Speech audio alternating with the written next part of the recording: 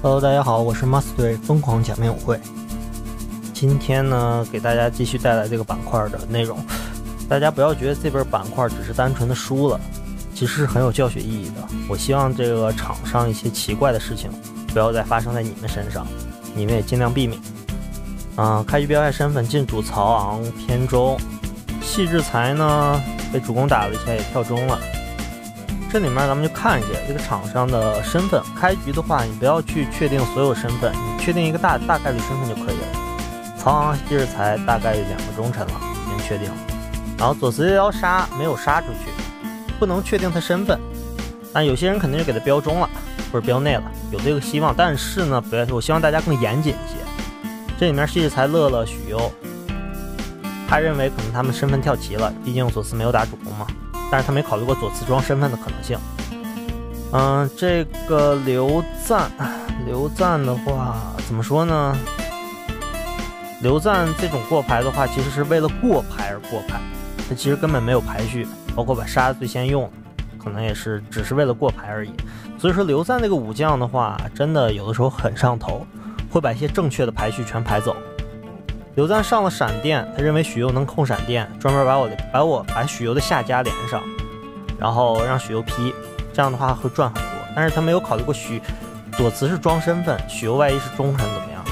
他没考虑过这些这件事儿，说明他不太稳。这条戏子跳明有一张明桃，啊，怎么说呢？刘赞的话太赌了，他没有遇见过装身份的人，说明这个左慈。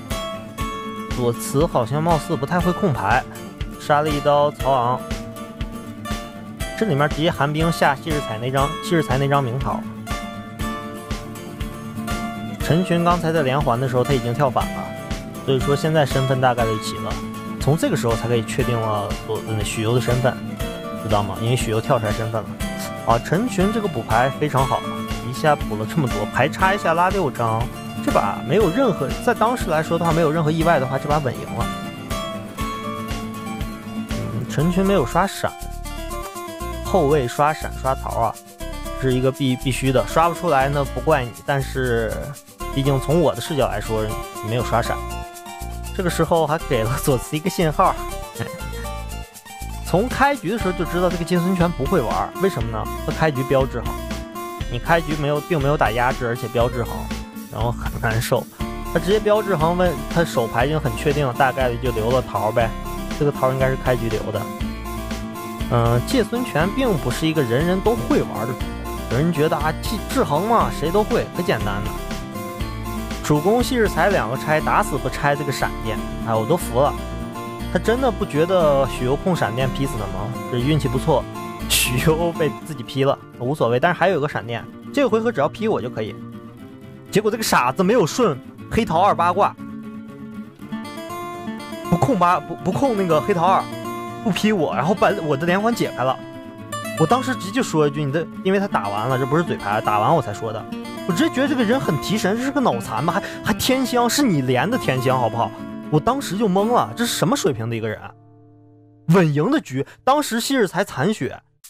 主公被劈，连着吧，连着谢日才被劈是六滴血，六滴血他们大概率救不过来的。包括他刚才杀了两刀曹昂，自己控的一张红桃，杀两刀曹昂，等于给曹昂控了，给曹昂控了一张红桃，他根本不会控牌，送了曹昂一张桃。这把当时我就挺绝望的，稳赢的局，刚才只需要劈下来，劈下来的话我掉三滴血，但是我能过牌不慌的。然后呢，昔日才必死。然后孙权直接掉三血，然后曹昂掉三血，结果他解开连环，完全看不懂这个许攸，而且他把空的牌全打出去，空的牌全送给曹昂了，包括他第一张桃。我当时就懵了，这种水平的人真的不要来军吧，真的让人很气愤的。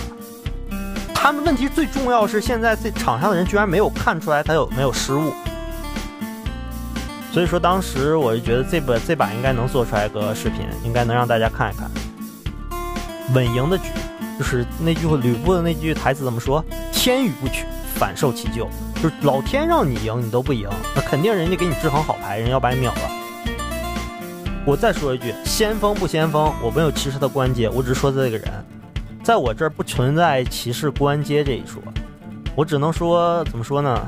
萌新啊，咱们萌新不要玩那种高难度的武将，包括孙权。其实有些人孙权就是个制衡，有啥难度？排序可能都不知道，包括怎么制衡。像他孙权开一标制衡就能暴露他的水平了。包括细日才孙权两个人一起合伙拆我这张寒冰，寒冰是克制细日才是值得拆。当时他们两张拆就应该拆这两张闪电。但凡这个许攸会玩的话，他们已经没了。结果他们没有看见那个闪电。许攸呢，把这个最好的机会给放过了。黑桃二的八卦不顺，顺完之后直接压八卦，这把就赢了。结果这个人才是真的个人才啊！我当时就懵了。反正怎么说呢，我是挺懵的。孩子，别来至尊了嘛，咱们菜你就别来至尊了。不是说不让你来，你毕竟菜了，让大家过得都不好，对不对？你就是去普通场练习练习，几千场就不难打，对不对？结果走了，完全看不懂那这些人在干什么。刘赞呢，其实也有问题。